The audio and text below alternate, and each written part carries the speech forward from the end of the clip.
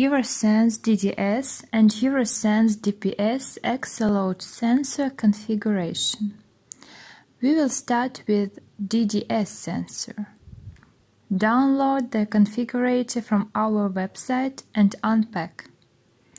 Connect the Eurosens destination adapter to the laptop. Select the operating mode of the USB adapter. Launch the configurator. If there was an error opening the port, then check the adapter connection or manually select the port in the settings. We can see proper port number in the Windows Device Manager. Connect the sensor to the adapter. In the Information tab we can see sensor data, type, serial number and software version.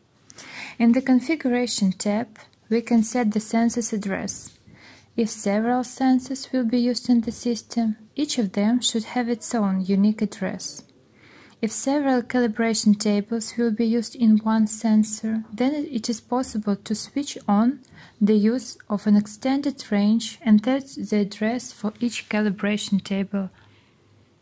In the same tab, we can set the averaging time of the data and the thresholds of the detector. You can set a longer time for smoother sensor readings. Threshold values are used as filter settings. Sensor will ignore values which differ from last averaged data more than threshold value. In our example, a system with two sensors will be used. A DDS displacement sensor will be installed on a truck with a spring suspension and a DPS pressure sensor on a trailer with air suspension.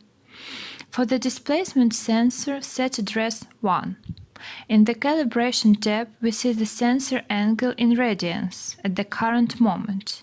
In this window, you can specify the amount of cargo portions per one record, if you plan to calibrate the system not only empty and full, but also adding intermediate points. Adding entries create a calibration table. There should be at least two entries for an unloaded axis and when fully loaded.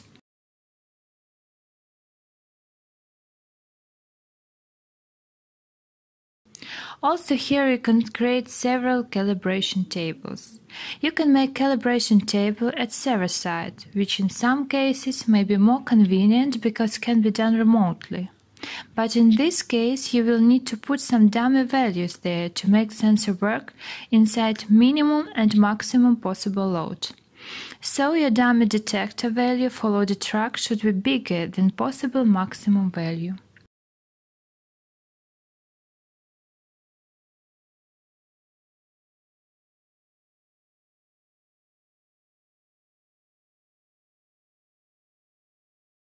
After adding all the records, don't forget to press the Save Calibration Data button.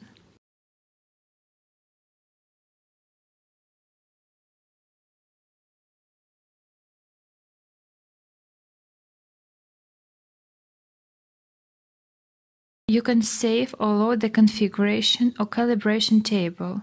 In the Setting tab, you can select the language and choose the COM port. The last tab contains information about the software.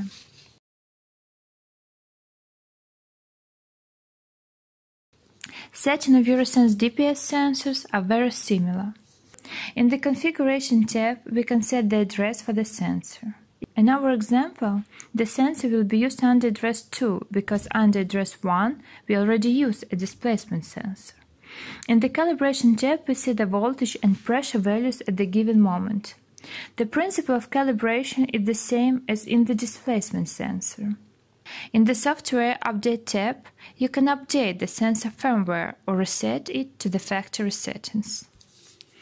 Let's make settings in GPS tracker using Navtelecom Smart 2435 as an example. Launch the tracker configurator. Select Configuration. Go to the Serial Interfaces tab. Device 1 select Fuel Level Sensor. Connect sensor 1 and connect sensor 2. We select address 1 for DDS sensor, address 2 for DPS sensor.